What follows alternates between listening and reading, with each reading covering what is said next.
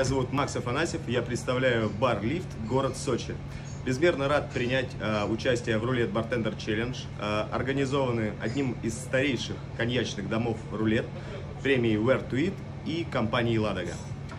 Э, принимаю вызов от Яны Айдаровой из города Казань, бар «Мистер Уиллард». Коньяк по праву был фаворитом среди ингредиентов в смешении коктейлей, но это давно забыли. Это несправедливо, как считаем мы. Коньяк Руле ВС здорово сочетается с едой и отлично ведет себя в коктейлях, поэтому я выбрал его. А, но мы стали забывать еще об одном замечательном сочетании. Это, конечно же, сигары.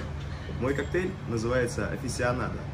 За основу своего коктейля я взял коньяк а, Рулет ВС, немного спелой вишни, зеленого грецкого ореха и приготовил содовую на основе а, табачного листа и зеленого яблока.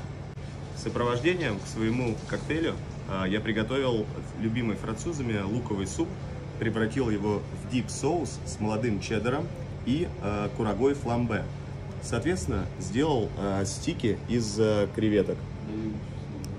Отличное сочетание. И я передаю эстафету Евстропову Николаю Барлиф, город Сочи, и Феликсу Улямаеву, город Санкт-Петербург, бар Сейнт.